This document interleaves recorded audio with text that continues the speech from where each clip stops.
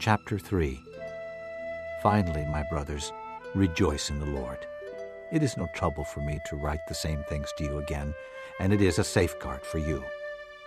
Watch out for those dogs, those men who do evil, those mutilators of the flesh, for it is we who are the circumcision, we who worship by the Spirit of God, who glory in Christ Jesus, and who put no confidence in the flesh, though I myself have reasons for such confidence. If anyone else thinks he has reasons to put confidence in the flesh, I have more.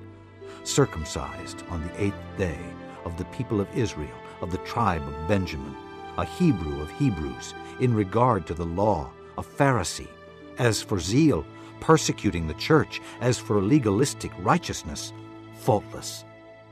But whatever was to my profit, I now consider loss for the sake of Christ. What is more, I consider everything a loss compared to the surpassing greatness of knowing Christ Jesus my Lord, for whose sake I have lost all things.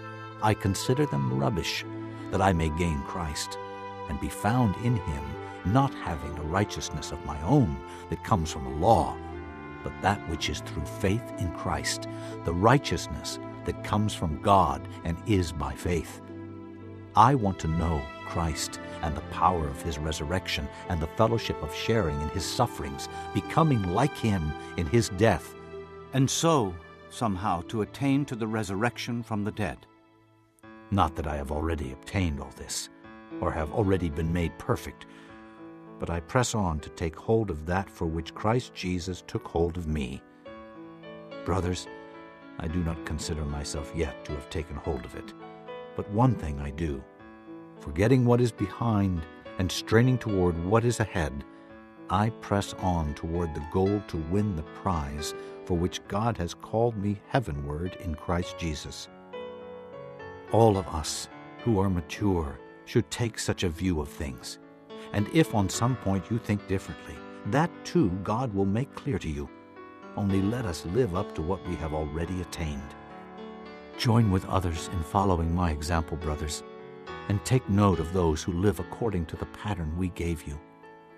For as I have often told you before, and now say again, even with tears, many live as enemies of the cross of Christ.